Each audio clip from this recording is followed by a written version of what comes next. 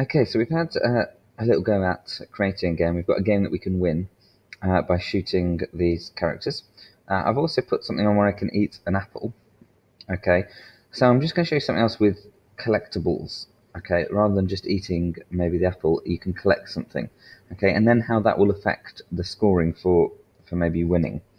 Uh, so I'm going to use my Kodu character. I'm going to click here and I'm going to put in a coin. Okay, and now I've got this coin, I'm going to program this to say when uh, it bumps into Kodu, so when they hit each other, um, I want the score, and we're going to have, uh, let's go blue this time, to be plus one point. Uh, so now when I run my game, okay, I touch this coin, I get a point. Now, what you might notice is there's tons and tons and tons and tons of points uh, adding up. That's not what I really want to happen. I want it so you touch that coin, and then you get a point, and then the coin is effectively got.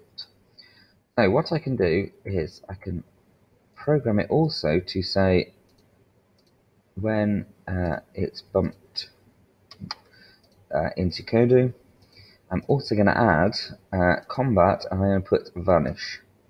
So it vanishes, it gets rid of it. So if I now play the game, like this, it bumps into it, it gets one point, uh, and Kodu has vanished. So we've got an issue there. So what we now need to do is go vanish me on the coin, vanish myself. So let's try that again. There we go, I've got one point and my coin has vanished. So what I have done on that coin is programmed it so when it bumps into Kodu, get a score of blue of one point, but also when it bumps into Kodu, make me vanish. Uh, I'm now going to go onto my world settings and on blue, scroll all the way down to my blue label, not my blue buttons, my blue uh, label, which is here. I'm going to say loud, and I'm going to call that one uh, coins. Okay, and I'm going to put my red one on, and I'm going to call that one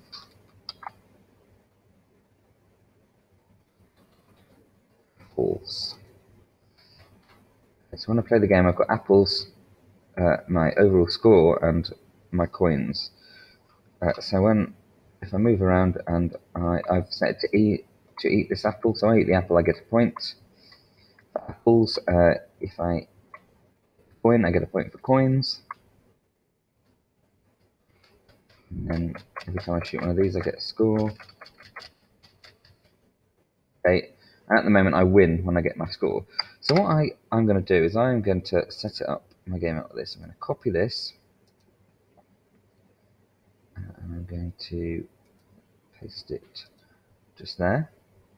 And then I'm going to copy my coin. I'm going to paste my coin just there.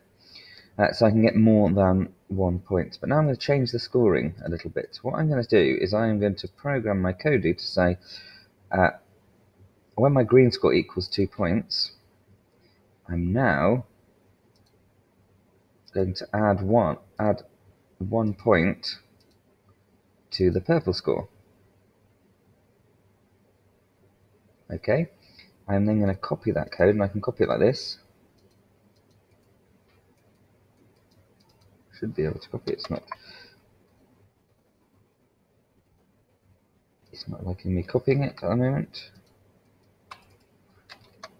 Let's go down to there, copy it, uh, and then let's paste it there.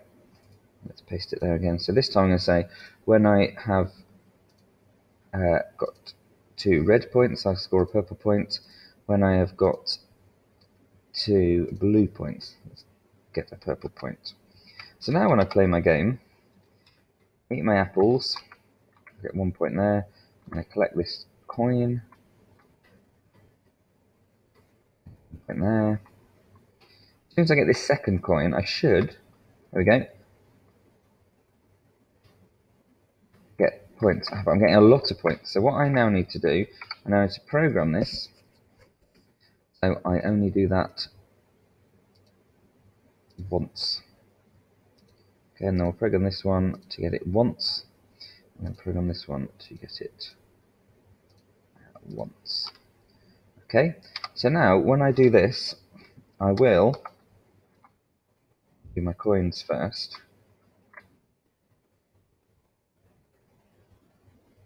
I get my coins, so when I've got them, I get one point.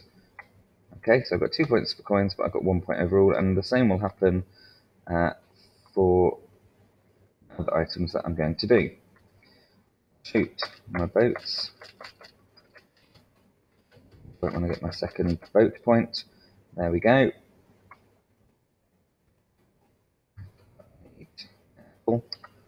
Well, my other apple has disappeared, which is not great, but it's down there. So I've eaten that. So I've got two points for each of my uh, of my scoring methods. I've got three points overall. So what I'm going to do first thing is I'm going to change my purple to objectives. This is my objectives. And then I'm going to program my Kodu again with another score one that now says, okay, um, we should be able to paste this one on again. It says, when I've scored, when my purple score is 3, okay, then uh, we're going to win the game. So when my purple score is 3, so I get 1 point, my objective score, which is purple, I get 1 for each one. For um, shooting, eating, and collecting, then when I've got those three points, I get it all together for a win. So let's have a go at that. So I eat an apple. Coin here. Going properly. Shoot.